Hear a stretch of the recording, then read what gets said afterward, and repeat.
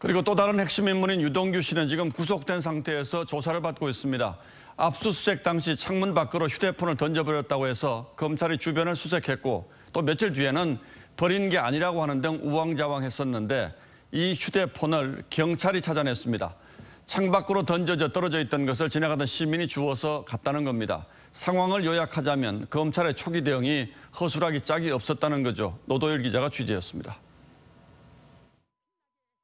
지난달 29일 유동규 전 성남도시개발공사 기획본부장 자 택 압수수색 당시 CCTV에 잡힌 수사관들 모습입니다.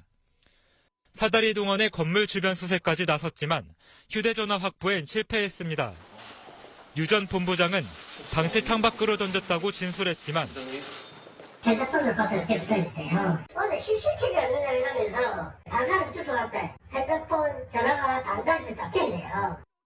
검찰은 CCTV 확인 결과 압수수색 전후로 창문이 열린 사실이 없었다며 가능성을 일축했습니다. 검찰은 유 전 본부장이 휴대폰을 판매업자에게 맡겨놓았다면서도 그 사람이 누구인지 말하지 않고 있다며 유 전 본부장 진술에만 의존하는 태도를 보였습니다. 하지만 경찰이 증거은닉 관련 수사 착수 하루 만에 CCTV를 분석해 창밖으로 던져진 휴대전화를 주운 시민을 특정해 찾아내면서 체면을 구겼습니다. 경찰은 확보한 핸드폰 분석 작업과 동시에 습득한 시민과 유 전 본부장 관계에 대해서도 조사 중입니다.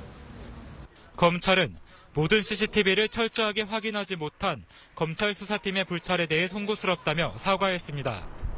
TV조선 노도일입니다.